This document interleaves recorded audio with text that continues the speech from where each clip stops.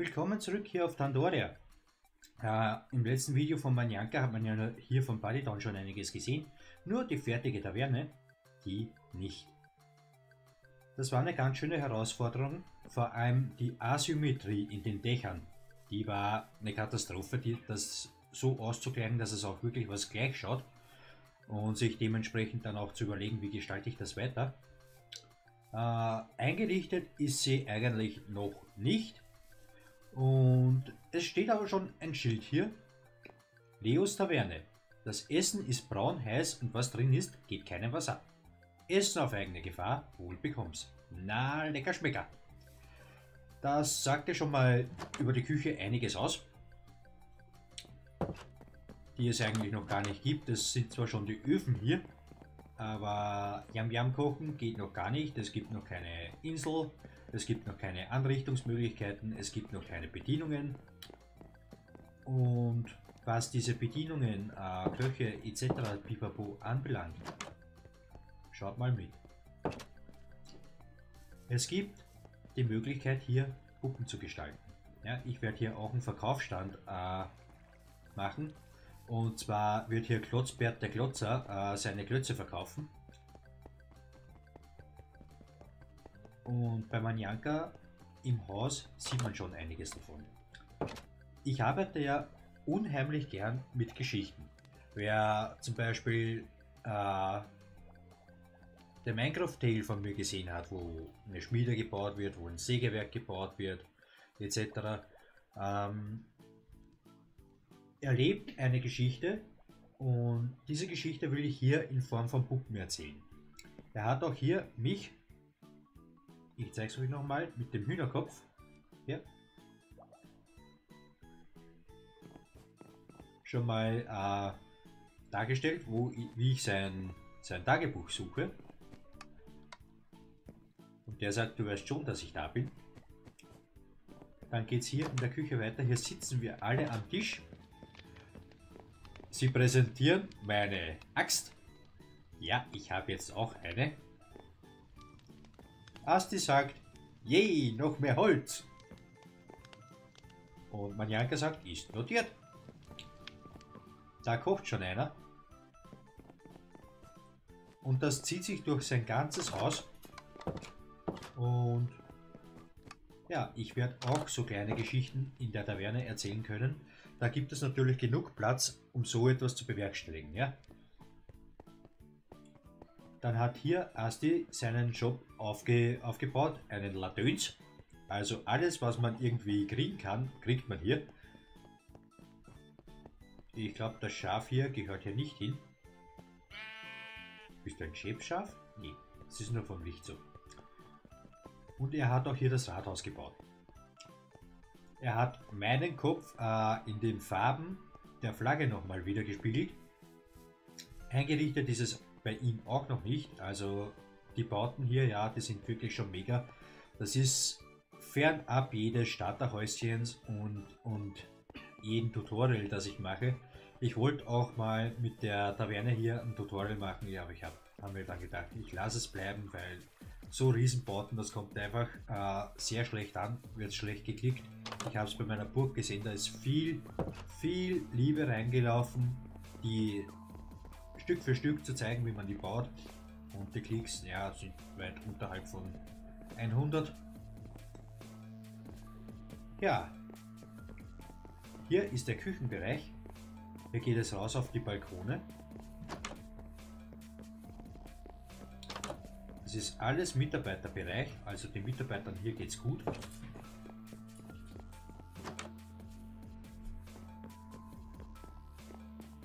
Hier auf dem Balkon werde ich mir natürlich auch noch einiges einfallen lassen müssen. Man sieht, ein bisschen dekoriert und, und kaschiert sind die Dächer ja schon. Da geht aber noch mehr, ja. Ich habe heute den ganzen Tag hier gearbeitet und mir viele Details einfallen lassen, die ich hier einbauen will. Hier gibt es auch so eine Jägersgilde. Die haben schon ein bisschen was gejagt. Zwei Füchse, das manische Teufel, Manjankas. Sind sehr fromme äh, Brüder. Und hier ist ein wirklich schöner Kamin. Also ist ohne der Taverne gehört ein Kamin, ja, das ist ganz klar. So, hier werden wir jetzt noch ein paar Hocker hinbauen. Den Zaun müsste ich ja da haben. Wo habe ich den Zaun jetzt? Da. Äh, wir brauchen auch noch die hier und die Schilder. So. Wer mein Küchenvideo gesehen hat, der weiß, wie die gehen. Ich kann sie leider nicht hier komplett dran machen, wegen der, wegen der Dingens hier, der Front von, von, vom Dresen. Der muss auch noch ein bisschen umgestaltet werden und neu gestaltet werden. Ähm, dann legen wir hier drauf Druckplatten so, jetzt habe ich die schon mal woanders hingelegt, als ich sie haben will. So, so, so. Und hinten dran die Schilder. Ihr müsst ein bisschen aufpassen, wenn ihr zu weit unten oder was, dann kleben sie an dem Zaun dran. Sieht dann auch eher bescheiden aus. So. Für die Barhocker, äh, für die Barsteher und Trinker sind schon mal Hocker hier. Hier möchte ich dann so eine kleine gemütliche Ecke reinmachen für die, für die Sta Stammtischsitzer. Hier kommt dann noch so, so eine kleine Ecke für die, für die Jägerschaft hier. Und hier entlang dann auch noch ein paar so, so kleine Tische, wo die Leute eben essen, trinken, übergeben, was weiß ich, können. So, dann haben wir hier das muss ich jetzt anders machen als geplant. Ich will hier nämlich eine Schwingtür haben. Die Schwingtür wollte ich eigentlich mit äh, Zauntoren machen, habe mir aber dann gedacht, das sieht vielleicht ein bisschen blöde aus. Und ich brauche, ich habe alles, was ich brauche. In die Küche von, soll man von hier aus ein bisschen reinsehen können, ja. Das heißt, wir machen hier eine Schwingtür hoffe, ich kriege das jetzt so hin, wie ich es will. So, dichter dran. Ich glaube, das wird eh schon wieder nicht das, was ich will. Das ist absolut nicht das, was ich will, aber ich habe eine andere Idee. Wir machen hier eine Durchreiche. Das heißt, du kommst da wieder runter. Wir bauen euch hier rein.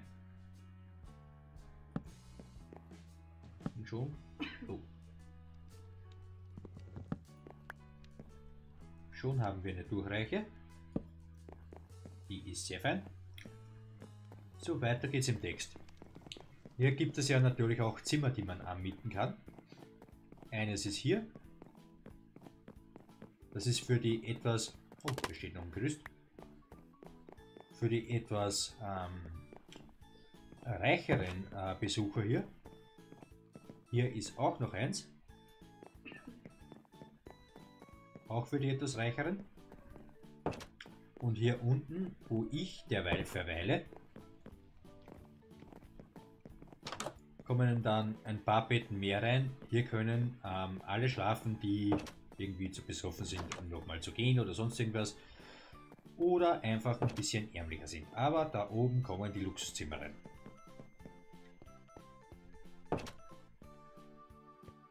So, natürlich braucht das Ganze hier ähm, ein bisschen Deko. Es wird schon wieder dunkel. Mir sind hier irgendwie die Tage zu kurz. Ist irgendwer am Server? Nee, ich bin derzeit alleine. Aber ich brauche Erde, wir müssen Blumen setzen.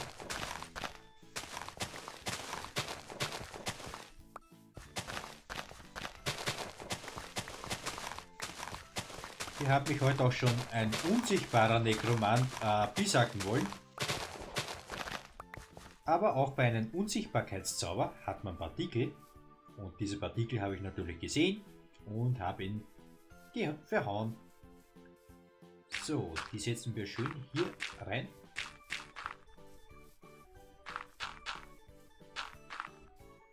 Und vorne dran, nur vorne dran, ja, an den Seiten geht es nicht wegen der hinteren ähm,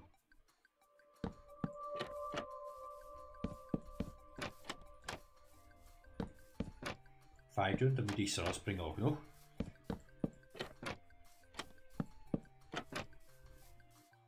Lag im Kopf. So, ich gehe schnell mal Heidi machen. Das seht ihr nicht, das schneiden wir. So, guten Morgen und weiter geht's im Text. Hier, das sieht natürlich auch noch alles nackig aus. Also der Eingang muss ein bisschen pompöser werden. Und vor allem muss hier eine kleine Abtrennung sein, damit du wirklich nur entweder hier oder hier reinkommen kannst. Hier, ich habe nur noch einen Stein. Nee, oder? Ich habe drei Steine. Uh, ich bin recht. Ich komme gleich wieder, wir brauchen Stein. Das ist die mit Behutsamkeit, damit mache ich genau die falschen Steine. Gibt gleich da hinten einen Berg.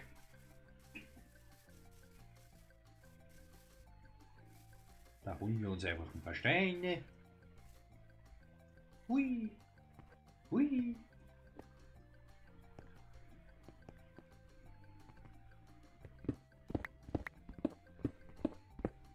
Nächsten Video, wo wir uns sehen, gibt es dann wahrscheinlich auch schon einen Cobblestone-Generator. Den werde ich im Keller von der Taverne reinbauen, auch eine Fischfarm. Und da kommt dann mein Lager. Endlich, äh, ich weiß nicht, wie lange ich auf Dandori jetzt schon spiele, aber Lager hatte ich noch keins. Deswegen sieht es in meinen Kisten auch so äh, aus. Oh, mit dem will ich mich jetzt nicht anlegen.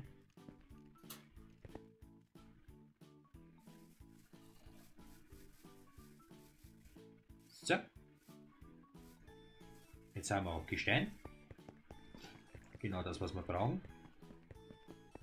So, zuerst brauchen wir die hier,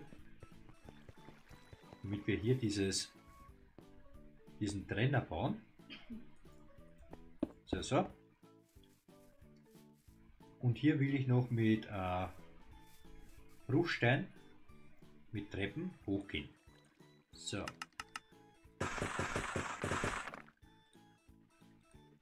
Da. Ich brauche ich jetzt nicht unbedingt. Hallo? Du wohnst da aber nicht. Und Küchenhebel bist du auch keine. So. Wie ihr seht, ich habe drinnen auch noch mit der Beleuchtung Probleme. Ich habe noch Mobspawn, ganz schön sogar.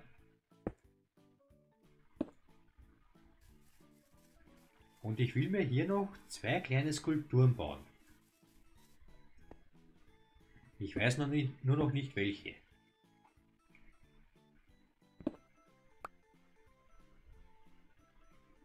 Die Drachen sind zu groß die, und außerdem stehen sie schon bei meiner Burg, da will ich sie nicht hier auch nochmal haben.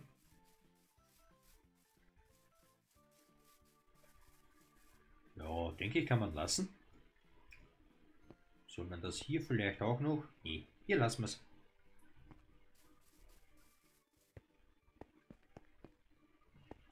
Und hier so an die Seite werde ich meinen, meinen Stand bauen. Ich denke mal, der passt da ganz gut hin. Und da muss ich mich dann auch langsam mal mit diesen Puppen auseinandersetzen, wie man die am besten macht. Das wird mir aber Manjanka wahrscheinlich ganz gut erklären können. Der macht ja hunderttausende von denen. Ich weiß, dass es Rüstungsständer sind, so viel weiß ich, ja. Aber wie man die bewegt oder sonst, ich habe es im Video heute gesehen von ihm, aber wie genau das funktioniert, weiß ich noch nicht, aber werde ich auch hinterkommen. Damit ich meine Geschichten hier erzählen kann. So, ich würde mal sagen, das war's von der heutigen Folge. Ist ein bisschen kürzer als sonst, aber